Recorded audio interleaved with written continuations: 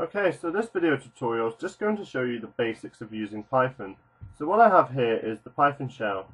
Now say for example you wanted to output a name to the screen, you just type in print, and in this version of Python, open your parentheses, your speech marks, hello world. And that just outputs it to the screen and you can do this with any text, and so on.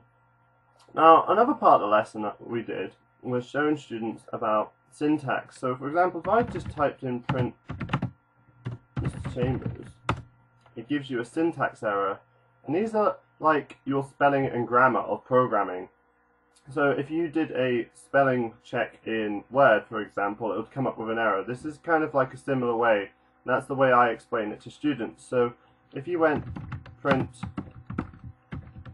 Chambers, because the correct code is in place now, it lets it run. Now the next thing I showed students is how you can store a variable. So say for example I want student name.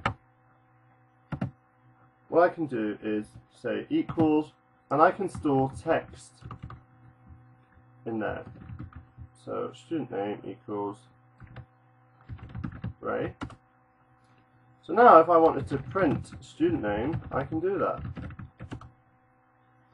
And once again, you need to make sure the brackets are there, because if I leave one off, watch, it doesn't do anything because I haven't finished it. So I have to finish that off.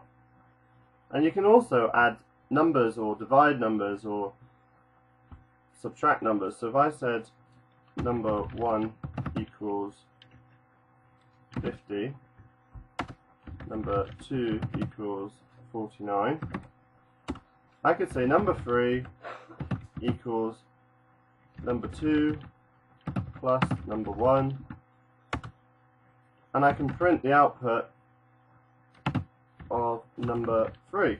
So watch what happens here. So that's 99. But if I still wanted to print number 1, you can see that they haven't changed at all. So that's just a quick introduction to Python that you might want to show your students or a support video